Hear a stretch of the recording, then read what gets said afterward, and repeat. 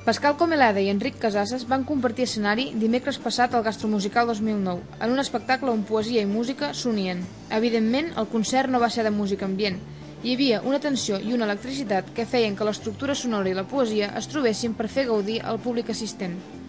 El concert de Comelada i Casasses va inspirar el cuiner Jordi Jaques a fer un menú per unir dos talents, dissenyat per jugar i deixar-se emportar. El menú estava format per un primer plat de tiramisú de salmó, un segon plat de macedònia de porc i de postres torró de foie. Doncs cantar